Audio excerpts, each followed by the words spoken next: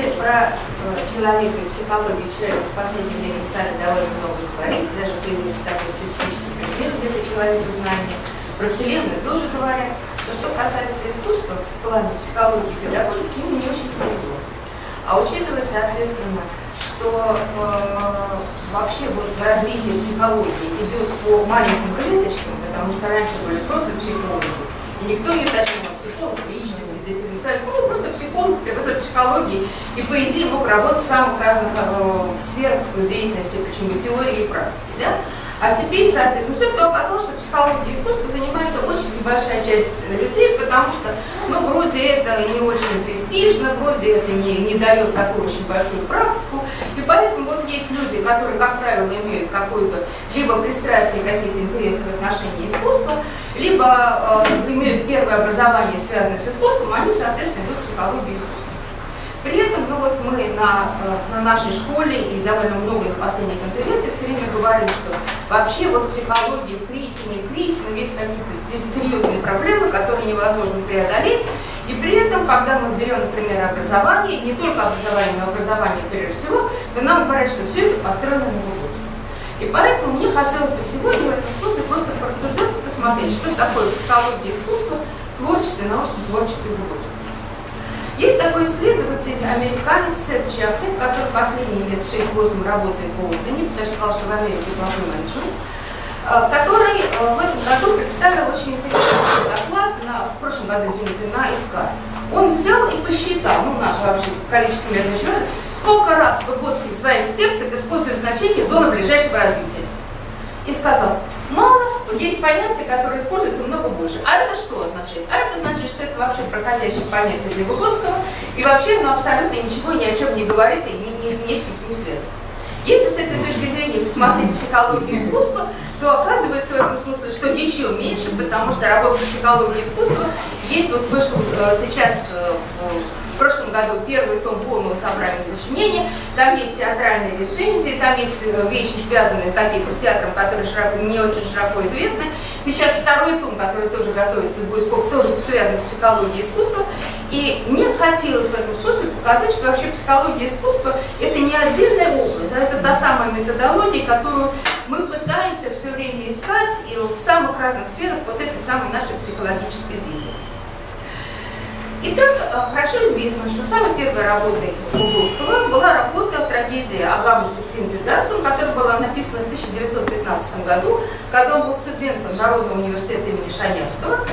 И закончена она была датирована даже точно известной датой с 14 э, февраля по 28 марта 1916 года, когда же, соответственно, университет был. Правда, опубликована эта работа с огромными совершенно купюрами, потому что вот сейчас, готовя к публикации, мы нашли больше ста страниц, которые никогда не было опубликовано, была спустя 52 года, собственно говоря, э, к приложению к ситуации психологии искусства. Но, тем не менее, а, есть некоторые основания, к которых я сейчас хотела бы перейти, а, которые пытаются, с помощью которых можно сказать, что в этой работе можно проследить вот некоторые специфические черты той самой культурно-исторической психологии, которая еще тогда не было в 1915-1916 году, 19 лет, он 96 -го года. Итак, а, следующий, пожалуйста. Во-первых, э, Выгодский был и остается едва ли не единственным психологом, который реализовал в своем творчестве идею Маркса, что ключ к анатомии обезьяны лежит в анатомии человека. Он идет не от физиологии и не от анатомии, который признавал очень значимым, потому если кто не знает, то в последние годы он Александр Романович поступили в Харьковский медицинский институт, который он не успел окончить, потому что умер, собственно говоря. Но изначально, когда у него была возможность поступать в медицинский институт, он отказался поступать и предпочел идти на юридический факультет Московского императорского университета, а не заниматься медициной. Да? А он пытается идти от такого рефлексивного, интеллектуально развитого, да, вот такой всесторонний, как сейчас говорят, гармоничной личности, каким был представлен главный у Шекспира. Следующий, пожалуйста. Э, во-вторых, э, в работе о Гамлете э, он разделяет, у него очень четкое это разделение внешних признаков и внутренних механизмов. И это ему дает возможность найти некоторую единицу психики и посмотреть, как, это, как происходит развитие и каким образом внутренние механизмы реализуются в поведении и поступках человека. Следующий, пожалуйста. В-третьих, э, в, в этой первой работе есть очень много таких оснований говорить о том, что именно там он приходит к идее переживаний, которые, как он говорит позже, являются единицей, собственно говоря, психи э, психики. Следующее, пожалуйста. Есть некоторые основания, менее явные, чем предыдущие три фактора, что в этой работе он приходит к идее сознания, которая по э, его мысли, я буду сегодня об этом говорить, должно быть предметом всей психологической науки. И последнее, собственно говоря, следующее, что э, Выгодский в этой работе э, предлагает новый метод, потому что по Выгодскому особенности той или иной науки э, отличаются методом, выраженным методом. Он предлагает экспериментальный генетический метод, метод, который, по его мысли, позволяет моделировать процессы психического развития. Как мы сейчас сказали, у него просто идет ситуация э, от развития. И э, этот метод э, является, опять, с точки зрения автора культурно-исторической теории, очень значимым. Он позволяет, в частности, анализируя поведение разных э, героев э, трагедии Шекспира, выделять э, вот пытаться найти объяснение и выделять те закономерности, которые с его точки зрения происходят в их жизни и которые представлены в том числе э, как в художественном произведении, которое влияют на читателя. Сказать, что э, с одной стороны, вроде бы экспериментальный генетический метод, который сейчас называется проектирующим, сейчас стал очень популярен, но очень часто так бывает, как только что становится популярным, это последний гвоздь в крышку гроба, что на этом ситуация кончилась. И поэтому мне кажется, что очень значимо все-таки попытаться выделить те особенности экспериментально-генетического метода Выгодского, которые есть. Первое, ну, например, от формирующего эксперимента того же самого Петра Яковлевича Горбина. По э, мысли Выгодского, человек, который принимает участие в экспериментально-генетическом методе, кто его организует, кто его придумывает, кто его конструирует, кто его сопровождает, является точно таким же участником, собственно говоря, вот этого самого процесса. Он не противостоит тем, с кем он эту ситуацию делает, а он является тем же самым процессом, и это, мне кажется, что ситуация очень значима. Следующий, пожалуйста. Следующая вещь, и то, тоже, мне кажется, очень-очень значимая, я просила бы на нее обратить особое внимание. По Выгодскому это вопрос, каким человек может быть. А любые формирующие вещи и проекты, это каким он должен быть. Вот у нас есть какие-то заданные, заданные вещи, и мы пытаемся формируй, не формируй, все равно получишь навык. Шутка факультета психологии, там я не помню, начало того, как ситуацию он делает. Да? А здесь каким он может быть. И, наконец, пожалуйста, следующая особенность, которая есть тоже очень значимая, что это метод исследования. На самом деле, в отличие от проектов, которые должны прийти к каким-то реальным результатам, которые в этом смысле надо ситуацию получить. Да? много раз приходилось сталкиваться и при оппонировании, и при рецензировании с работами, что вот мы берем, там, я не знаю, класс, мы вот сделали, чтобы от всего подскакивали, это и есть ситуация экспериментально-генетического метода. Чем подобное, как ситуация.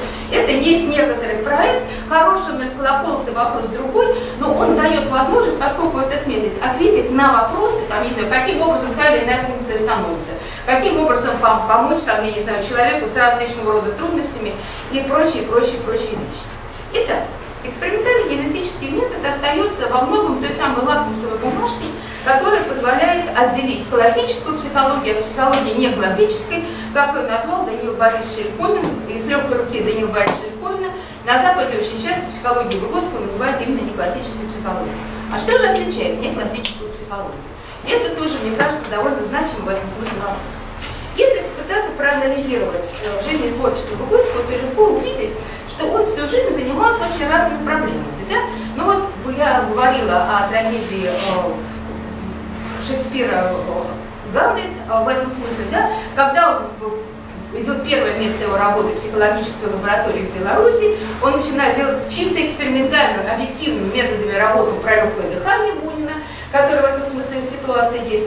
Тут же он занимается театральными рецензиями, тут же он начинает заниматься, как в педтехникуме не было ни колледжей, ни других названий, а был педтехникум, где сейчас расположен колледж имени Выгодского в Гомеле, э, с которым мы очень дружим, где он есть каким образом преподавать психологию, чтобы был и индивидуальный подход, и чтобы эта самая психология была не от зубов отскакивала, а чтобы она в этом смысле как бы ситуация меняла сознание. Вот все это позволяет говорить о том, что Выгодский в своей работе следующий, пожалуйста, был, был, а вот, да, был двупозиционный. Следующий. Э, иными словами, э, работали ли с детьми с ограниченными возможностями, рассматривали взаимосвязь аффекта и интеллекта, э, пытаясь с единомышленниками построить универсальный язык искусства, Выгодский одновременно все время находился в двух позициях. И если воспользоваться терминологией Курта Левина, которого Выгодский очень чтил, с которым лично встречался, много переписывался и общался, то надо сказать, что он все время находился в точке вовне по отношению, собственно говоря, вот к разным сторонам действительности. Некоторые доказательства тому, что я говорю, можно найти в воспоминаниях вдовы Выгодского, Розиновны Выгодской, которая рассказывала, что у него лежало много-много разных стопок бумаг, и он писал какие-то вещи здесь, какие-то вещи сюда, какие-то вещи сюда. Этим, кстати, объясняется, что во многих абсолютно разных работах есть одни и те же примеры. Ну, например, очень часто там детских психологов удивляет, что одни и те же примеры используются в двух вроде абсолютно разных статьях. Статьи про воображение и статьи про боль. Вроде где воображение, а где воля, оказывается одно и то же, и по Выгодскому действительно воображение играет значительную роль в ситуации в этом самом волевом развитии. Следующее. Вот э, главная идея, собственно говоря, э, культурно-исторической теории – это натуральные функции, которые становятся высшими функциями. Если мы обращаемся к классической психологии, то надо заниматься высшими психическими функциями и их особенностями. Но я абсолютно солидарна с Андреем Андреевичем Пузыреем, который много занимался творчеством Выгодский, который пишет в своей замечательной книжке. Выгодский не занимался ни натуральными психическими функциями, ни высшими психическими функциями. Он занимался тем, как происходит процесс превращения натуральных психических функций в высшие психические функции. А находясь в одной позиции, они не имеют двух позиций, соответственно, э, сделать это абсолютно невозможно. Надо сказать, что вот эта двухпозиционность, если принять ее за гипотезу, за предположение, за мнение, за позицию, как угодно здесь ее можно назвать в этом смысле, то надо сказать, что практика, которая на ней строится, она тоже абсолютно иная. Она не такая. То есть нельзя, э, опять почти дословно цитирую Выгодского, нельзя понадергав классиков, надергав цитаты из классиков, что-то такое построить. Да? Так вот, у нас часто строятся какие-то вещи, ну, например, без конца приходится слушать и читать, что федеральные государственные образовательные стандарты все построены на Выгодском. Ну, правильно, он давно в земле, поэтому в этом смысле э, опираться нет. Да? Что же отличает практику вот в этой связи, если принять эту двусубъектность на этой основе? Первый момент, который отличает практику, это очень важно, и мне представляется, что это одно из самых главных задач при подготовке педагога, потому что педагог должен развиваться и, и э, изменяться вместе с теми детьми, взрослыми, студентами, э, госградуэтами, кем угодно, чем заниматься. Если он не готов это делать, если он готов, там, я не знаю, рассказать какие-то лекции или то, что он получил в своем диссертационном исследовании, то, что он получил в этом связи, то это не будет практикой. Второй момент, который связан, собственно говоря, с ситуацией этой практики, следующий, пожалуйста. Э, сказано, это то, что ну, эта практика все время конституируется на двух основах. Две, два коротких примера – это актуальное развитие зоны ближайшего развития, потому что ты не построишь зону ближайшего развития, не зная актуальное развитие, это невозможно. И второй момент, который есть, собственно говоря, это когда строится, ориентируясь на закономерности, э, на возрастные закономерности, но если ты не учитываешь индивидуальные особенности, то возрастные закономерности в этой связи э, абсолютно, в этой связи, в этом плане не получается. И третий момент, связанный с ситуацией вот этой практикой, мне кажется, что эта практика должна быть глобальной. Буквально три слова скажу. Очень часто приходится встречаться и у нас, и за рубежом. Взяли вот такусенький раздел математику и поменяли, мы построили ситуацию по Выгодскому. Взяли чего-то такое в семье, сделали, мы это сделали как по Выгодскому. Да? Вот если не охватывать целиком, в этом смысле человек, опять же, напоминаю, что у нас конференция называется все-таки человек, да, а не, не какие-то вещи, да, то в этом смысле ситуацию абсолютно построить нельзя. Может потому она так мало и используется, потому что, ну, это как э, любили говорить наши старики, там, мой Александр Владимирович Запорожец, это не очень диссертабельно. Это вот на это как бы не решить, но с другой стороны, не имея вот ситуации это в виду, мне представляется, что это э, сделать невозможно. И мне кажется, что именно вот эта двупозиционность, которая отличает психологию Выгодского, она обеспечивает непосредственную связь вот, очень серьезных, очень фундаментальных теоретических идей и практики. Не зря вот тот же самый Сет Чекман, про которого я уже упоминала, он всегда пишет, что методология Выгодского практически, он учит практическую методологию. И хочу привести пример с помощью одного понятия, которое, опять же, с точки зрения того же Сета Чаплина, тоже является проходящим понятием игры. Э, с самого начала, значит, возникает два закономерных вопроса. Следующий, пожалуйста. Да? первый вопрос, является ли игра или подход к игре Выгодского закономерным или важным для того, чтобы понять теорию, которую он предложил, и есть ли связь между детской игрой и игрой актера. Для того, чтобы ответить на первый вопрос, давайте мы посмотрим, чего такое критерий игры по Выгодскому. Следующий, пожалуйста. Вот э, по мне кажется, что это очень значимо, и в значительной степени многое, что пошло не так с игрой, и то, чему плачем, что у нас очень плохо с игрой, произошло, не очень понимая как бы ситуации того, что сделал Выгодский. Выгодскому является воображаемой ситуацией. Воображаемая ситуация – это пространство между смысловым и оптическим. То есть человек, который играет, должен одновременно находиться в двух позициях. Он должен удерживать в этом смысле абсолютно оптическое поле, иначе он не может реализовать игру. Да? Он должен рефлексировать свой замысел и свой замысел реализовать в том, что у него есть. Э, кубики, кубики, игрушечки, игрушечки, палочки, палочки, пальцы, там, руки, тело, все что угодно в этой связи в конечном счете есть. И э, опять же могу сослаться на цитату Лугодского, он, описывая игру в больницу, говорит, ребенок в игре в больницу плачет как пациент и одновременно радуется как играющий. Да? То есть в этом смысле вот эта самая двусубъектность, мне представляется, что она довольно значима и э, довольно важна. Для того, чтобы ответить на э, второй вопрос, опять же, э, попытаемся посмотреть, э, он, он довольно тесно связан с, с ситуацией первого вопроса. Если рассматривать игру э, с позиции Выгодского наличия воображаемой ситуации, то оказывается, что между этими очень разными понятиями, а вот в этом самом доме первом Выгодского, который есть, там не просто есть э, как бы театральные рецепты, а есть, например, Качалов в роли Гамлета, или я не помню, кто еще сейчас просто это самое, кто-то еще в другую роль Гамлета. То есть, в этой связи оказывается, что вот, это, вот эти очень разные вроде внешние вещи, потому что ну, нас творческие люди берут только творческих людей с особыми способностями, особенно несмотря на то, умеет он не, не, не умеет играть. Вот реализуется это двусубъектность. Реальная ситуация, мальчик играет с солдатиками, мальчику 4,5 года, играет с солдатиками, говорит для этих солдатиков, мама смотрит на эту игру, скажи, пожалуйста, ты вот здесь вот или вот здесь, я их судьба. Вот для того, чтобы быть их судьбой, да, соответственно, надо быть, соответственно, и там, и там, в этом смысле одновременно, да. Или маленькая девочка, тоже реальный случай, который говорит, мама, я маленький котеночек, дай мне попить, пожалуйста, молочка. Потом говорит, так, все, я не играю, хочу пить, могу попить молоко. Ну, ты же знаешь, как молоко терпеть не могу. Вот, это сама. Или, например, э, что часто бывает у молодых педагогов, он очень строгий, он входит в класс, там все его должны бояться, и все остальные дела. У нас это очень хорошо было, потому что всех наших профессоров мы не боялись, что когда приходил вместо Петра Ильича Галкина Николай Николаевич Нечаев, то это, это уже была совсем какая-то другая ситуация. Да? Но этот же строгий в этом смысле учитель там на выходных идет в поход или после этого, там, я не знаю, слушает, э, интересует, переносит какие-то записи или там показывает какие-то вещи. И вот эта позиция, вот эта двойственная позиция, она оказывается достаточно значимой и достаточно важной. Более того, можно сказать, э, не могу сказать, что у меня большая статистика, но некоторая статистика есть, что те, кто, соответственно, вот не играл в детскую игру, вот те с, с самыми способностями достаточно вещи плохие. И в качестве примера могу сказать, с одной стороны, вещь, которую я очень люблю, а, а второе – чистое исследование, которое было проведено в Красноярском крае. Значит, взяли большую группу педагогов, там было просто несколько тысяч человек, попытались их посмотреть. Причем смотрели с точки зрения, собственно говоря, их удовлетворенности профессиональной деятельности, то, как к ним относятся вот, те, кого, соответственно, там они учат в конечном счете, э, оценка их э, коллегами их профессиональной деятельности, и смотрели их личную жизнь. И мы очень условно, конечно говоря, поделили на две группы. Да, у одних вроде бы было все остальное хорошо, а у других оказалась ситуация жуткая, потому что их бросали мужья, они не могли никак построить личную жизнь. У них были жуткие отношения. Вообще могу сказать, что как психолог, который консультирует, что более страшных тем дети педагогов нету.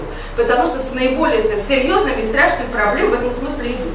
Причем пообрести их мы использовали разные-разные методы, но решающим для нас был метод такой. Мы просили педагогов поиграть в педагогов. И оказалось, что для второй группы вот этот педагог, все-таки, ну я и есть педагог, но еще я как бы ситуация, я вот в эту половину буду играть. И когда оказалось, что вот есть, причем оказалось, что их достаточно много, очень значимая вещь, что что с ними делать, мы их просто-напросто учили играть в педагога.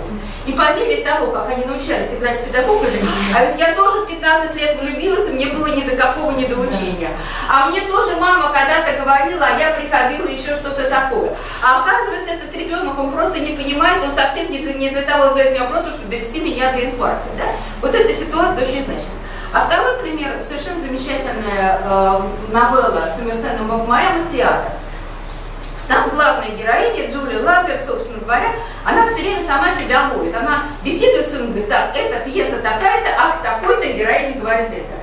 Беседует с мужем, говорит, это акт такой-то. Но наибольшая ситуация вырвалась тогда. У нее появляется молодой любовник, в которого она по-настоящему как бы влюбляется, и этот молодой любовник предпочитает ей молодую девушку. И она в ужасе с этим. И в это время ей дают играть пьесу, где ее бросает молодой любовник. И с ее точки зрения так хорошо, как сейчас, она не играла никогда. И когда к ней приходит там режиссер, друзья ее муж и говорит, слушай, что с тобой происходит? Так плохо, как сейчас ты не играла никогда. Ситуация вот становится в этом плане развлечения вот этой профессиональной, которая очень похожа, нет возможности как про это говорить, но очень похожа на игровую позицию, и вот этой личностной позиции, которая в конечном счете вот э, здесь э, ситуации связывается.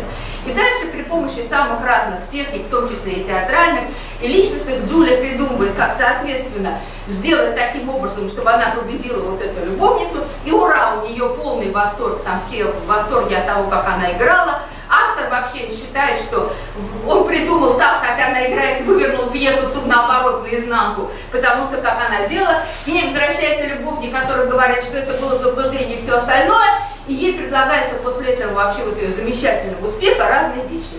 Она едет в ресторан и заказывает себе блюдо жареной картошки.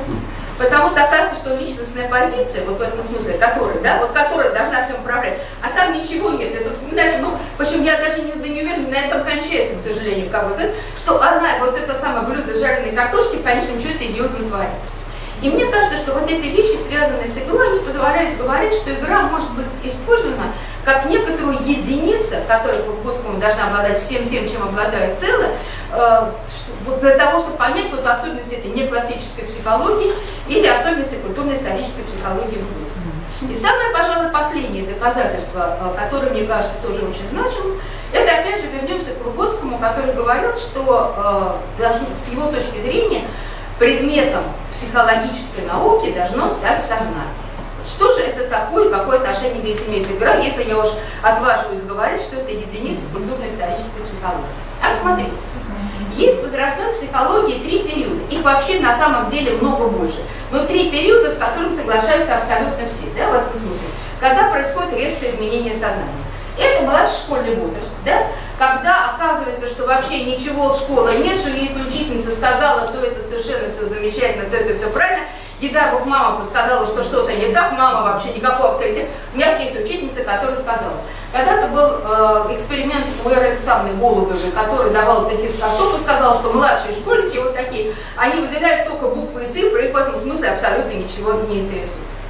Второй возраст, который есть, это старший подростковый возраст – когда вдруг вот у детей, которые до этого там кривлялись, которые вот на которые там, я не знаю, бузили, которые протестовали все остальное, вдруг появляется нечто взрослое отношение к окружающим. Может быть, не ко всем, но вот какое-то некоторое взрослое отношение и к окружающему миру, и к близким людям.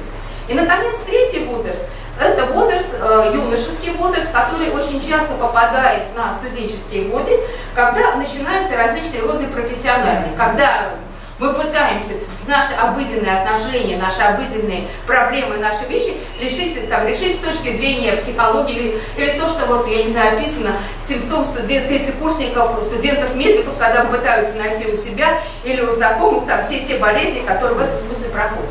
Чем вроде вот эти периоды, еще раз говорю, их много больше, но вот эти какие-то наиболее они четко описаны.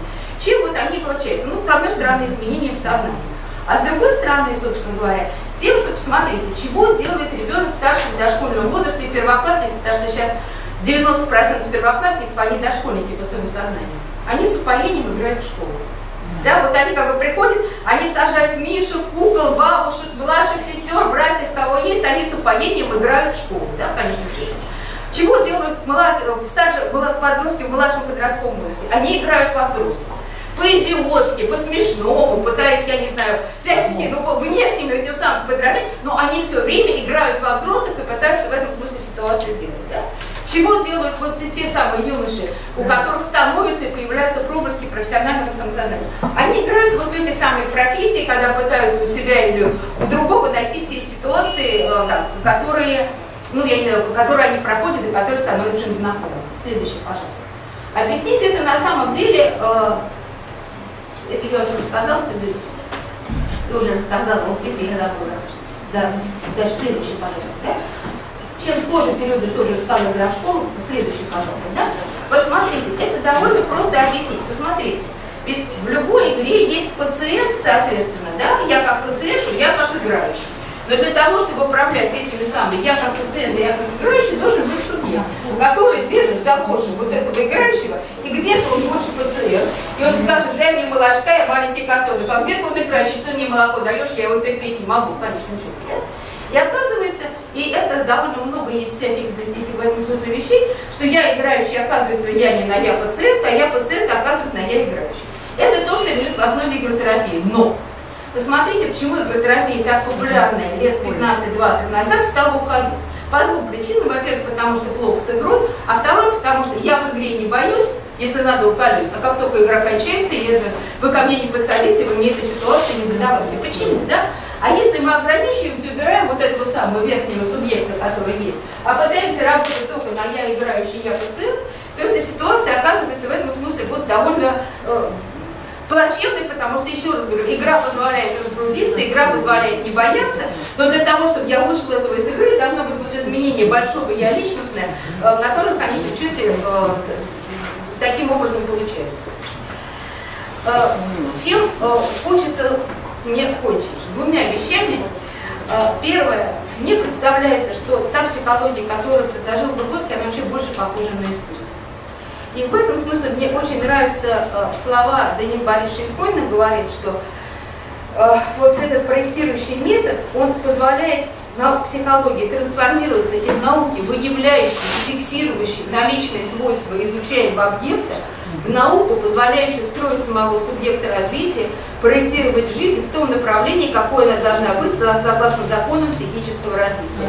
Она преодолевает старую психологию, которая не знала проблем личности, и делает исследование личности и личностного развития центральной проблемой психологической науки. Следующий, пожалуйста. И следующий, пожалуйста.